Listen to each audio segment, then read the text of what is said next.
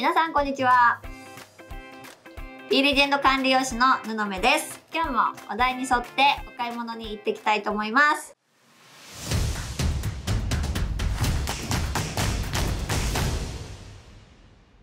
お題お願いします。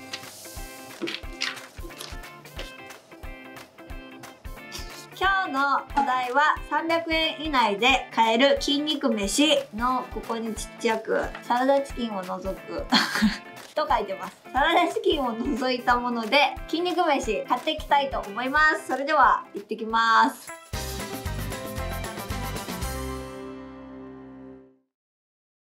それでは買ってきました。筋肉飯なんですけれども、まあ、よくねトレーニーの方とかサラダチキンですとか魚肉ソーセージですとかねタンパク質の多い食品をよくコンビニとかでも買うと思います。私はですねちょっと違うアプローチで今回は探してきました。まずですね筋肉をつけるのに必要なもの。もちろん運動ありきですよ。運動することが前提条件であるんですけれどもそれに必要なものというのは一つはタンパク質はやっぱ絶対必要になると思思います。タンパク質にプラスしてやっぱり炭水化物ですね。炭水化物っていうのはエネルギー源なんですけれども特に運動した後ですね。タンパク質は傷んだ筋損傷の回復のために必要ですし運動した後はエネルギーが枯渇している状況ですので足りないエネルギーを補充することで筋肉の分解を防ぐことができるのでやはり炭水化物も必要になってきます。なので運動後にはですねタンパク質と炭水化物を取ることでより筋肉の構成が促進するということも研究結果で分かっておりますので私はこの2つの栄養素が揃っているものをいつも栄養セミナーでもおすすめしております。ということで今日は炭水化物とタンパク質が入っているものを選んできました。それでは1つ目卵サンドです。パンの部分が炭水化物ですね。中の卵がタンパク源になります。手軽に持って食べれますしすごく便利だと思います。卵サンドなんですけれどもお店によって卵の含有量も違いますし使ってる素材もちょっと違ったりするのでまちまちではあるかと思うんですけれども大体ですね1パックでタンパク質が 10g 炭水化物がですね 18g ぐらい取れます。では次。卵が入ったとろろそばになります。お蕎麦が炭水化物で卵がタンパク源になるかと思います。これから暑くなってきたりとか運動後って食欲が落ちがちなんですね。そういった時に麺類ですと食べやすいというふうに言われています。そこにタンパク質が入っているこちらのものがより運動後にはいいんじゃないかと思いまして選びました。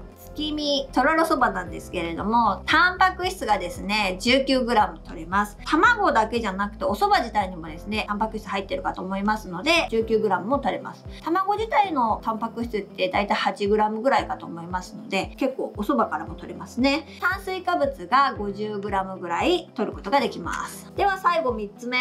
おにぎりです。こちらの具は何でしょう？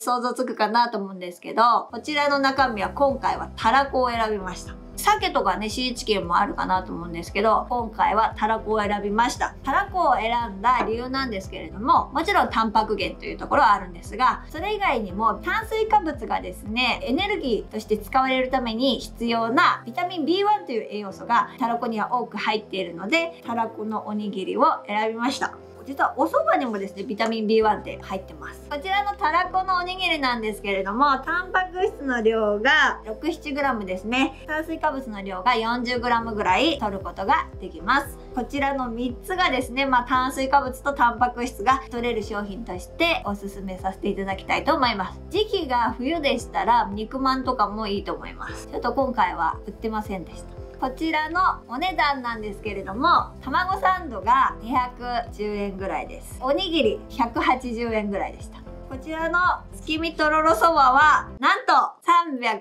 325円でした。300円という縛りを勝手に破ってみました。月見そばでもよかったんですけど売ってなかったんですよ。でもとってもおすすめしたかったので、怒られるかなと思ったんですけど、いっかっていうことで、これにしました。